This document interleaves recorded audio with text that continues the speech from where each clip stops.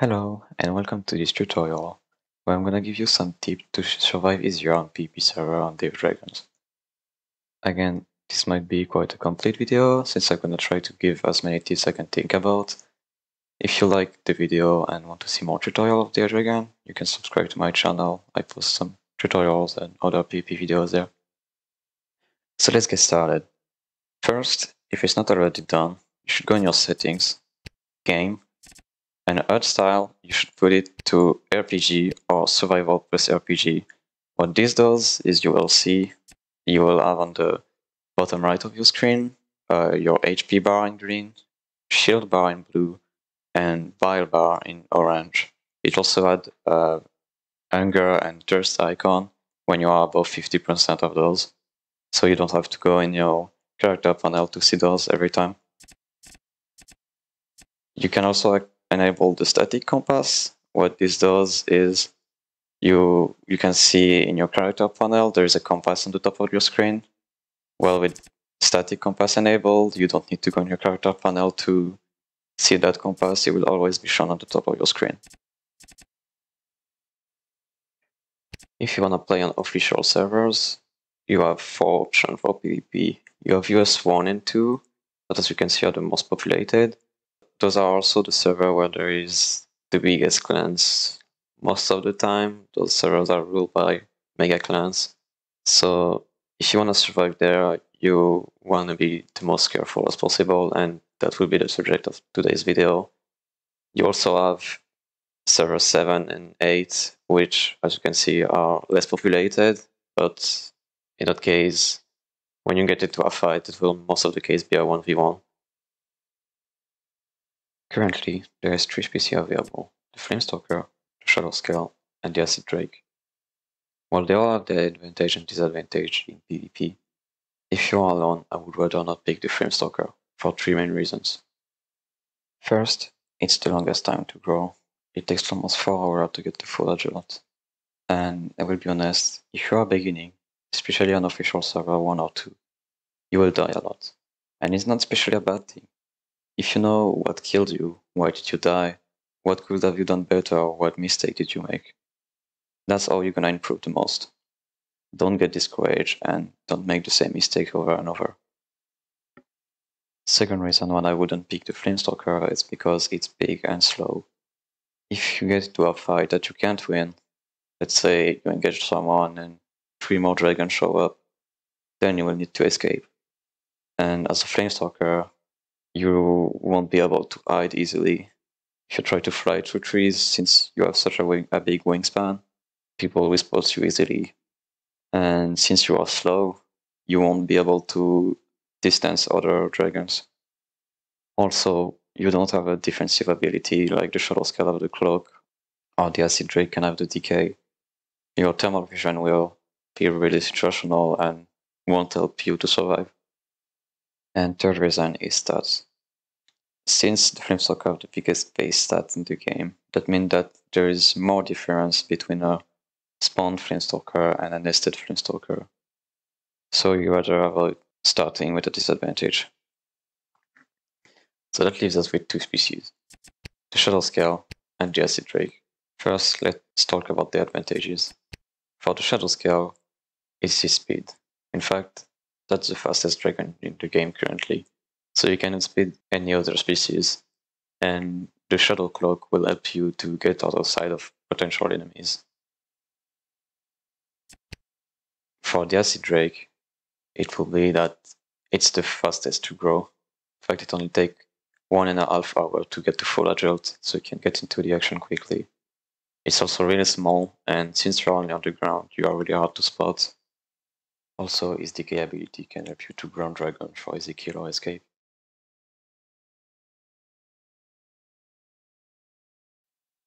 Now let's talk about the disadvantages. For the Acid Drake, it will be its HP. It can be one-shotted by a full charge Shadowscale, and a good burn for a face Flamestalker can seal your fate if you don't get to water quickly. Obviously, you're also only stuck on the ground, so it might be harder to spot targets and get around the map quickly. For a Shadowscale, its disadvantage would be that it takes a bit longer to grow than the acid drake, and it also requires more knowledge about how to fly and how to shoot, since if you don't really master those, you won't be really effective as a shadow scale. You can also die quite fast to flames or other acid drakes. The first tip will be about growing. When you first spawn in, locate food and water, and once that's done, go a bit further from it, in under the cover of some trees or in some bushes, and avoid unnecessary noises. Because if someone is hunting, he will most likely look at water sources where he is most likely to find dragons. And if you are sitting right next to it, it will be easy to spot. You also want to locate some shrooms, because they are quick to eat and give a lot of food compared to bugs. If you're not drinking or eating, you want to be sleeping all the time, because if an enemy shows up, you can quickly safe log.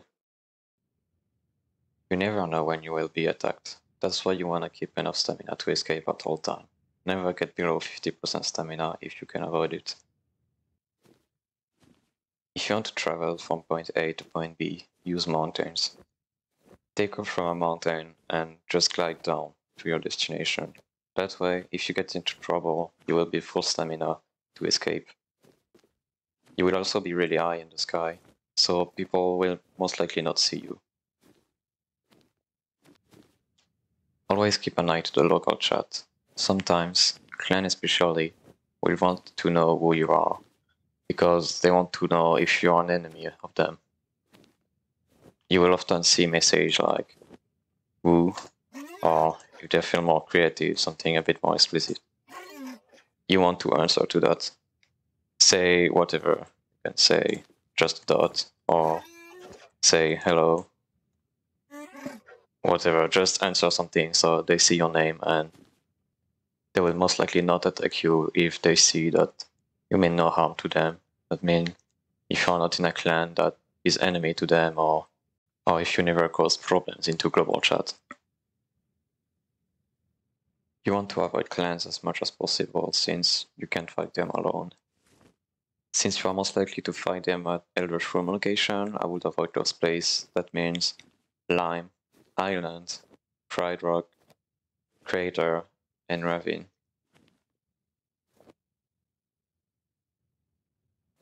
You want to pick fight that you can win. So before jumping into a fight blindly, always take the information on your enemies. Mean, as a shadow scale, you can fly with your eye above them to know how many they are and how powerful they could be. As an ASD, you can sneak around trees and bushes while being undetected. Do not stay for too long in the same place. You never know, maybe you have been spotted, or if you kill the dragon, more might come for vengeance. Always stay on the move, so if you are being hunted, you are harder to locate.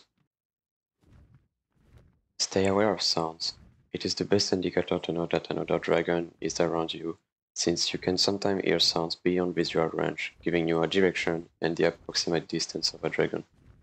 We can separate sounds in two ranges, close and far. Here are some examples.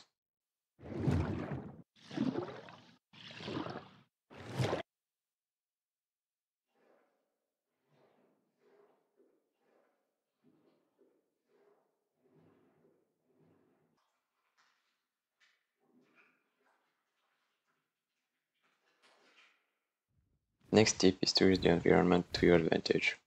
Use trees as cover, learn where is the closest water source to remove burn or decay, and know where is the closest forest you can escape in. If you are not faster, or know that you don't have more stamina than your opponent, then escaping in a forest is your best bet to survive. Redwoods, lime or elder forests are perfect for that. This is why you should practice flying through trees.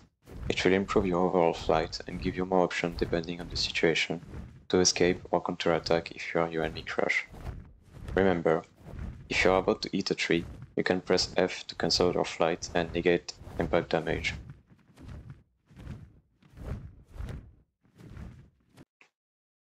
On Shadow Scale, you can cloak cancel. A technique that allows you to quickly disappear for a second without consuming stamina. To perform, you need to use the Shadow Cloak and bite not long after. Combined with combat or tree flying, it can be used to quickly disappear from sight, then turn or bounce on a tree to reappear somewhere unexpected.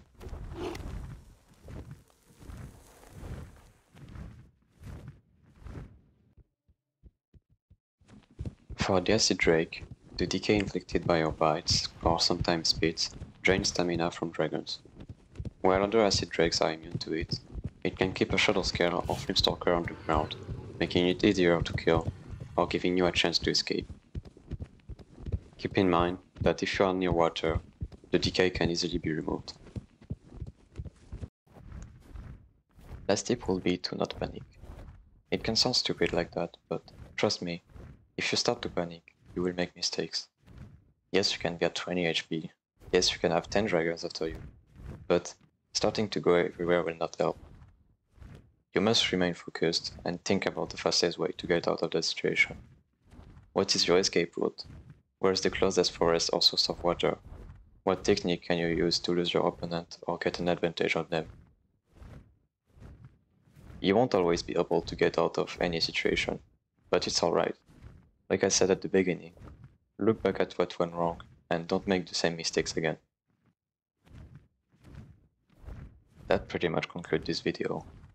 If you have any questions or suggestions, the comments are here for that. I read all of them, so don't hesitate if something isn't clear. I hope it helped a bit.